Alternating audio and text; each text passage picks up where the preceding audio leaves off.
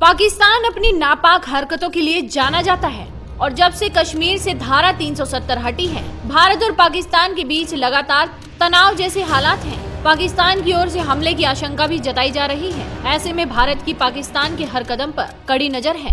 इसी तनाव के बीच भारतीय नौसेना के कुछ युद्ध पोत और युद्धक विमान अगले कुछ दिनों तक उत्तरी अरब सागर में अग्रिम पंक्ति में तैनात रखे गए हैं। ऐसा इसीलिए किया गया है ताकि भारतीय नौसेना इस खास और रणनीति रूप से महत्वपूर्ण समुद्री इलाके में पाकिस्तान के चल रहे बड़े नौसैनिक अभ्यास पर पैनी नज़र रखी जा सके। दरअसल पाकिस्तान अपनी युद्ध क्षमता का आकलन करने के लिए उत्तरी अरब सागर में युद्ध अभ्यास कर रहा है। इस दौरान पाकिस्तान अगले कुछ दिनों तक मिसाइल और रॉकेट फायर करेगा। सूत्रों के मुताबिक, भारतीय नौसेना पाकिस्तानी युद्ध अभ्यास पर करीबी नज़र रख रही है। पाकिस्तान का ये अभ्यास सामान्य प्रक्रिया के तहत हो रहा है, लेकिन नापाक पाकिस्तान का इरादा कभी भी बदल सकता है। और भारत की नौसेना उन हालातों के लिए भी तैयार है। वो पाकिस्तान के ऊपर भरोसा करने की गलती नहीं कर सकती। खास ऐसे हालात में, जब जम्मू कश्मीर से धारा 370 हटाए जाने के बाद से ही पाकिस्तान की सेना और आतंकवादियों की ओर से हमले का खतरा बढ़ गया है। भारत हर मोर्चे पर तैयार रहना चाहता है और पाकिस्तान पर किसी भी तरह भरोसा नहीं करना चाहता।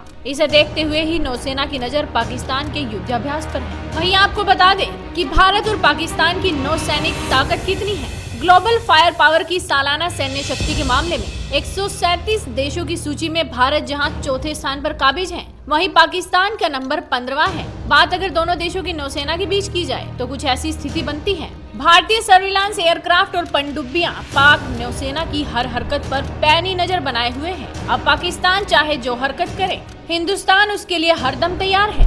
इस खबर पर आप भी अपनी राय रखिए, साथ ही वीडियो को ज़्यादा से ज़्यादा शेयर कीजिए और आपके अपने चैनल हेडलाइंस इंडिया को भी सब्सक्राइब कीजिए।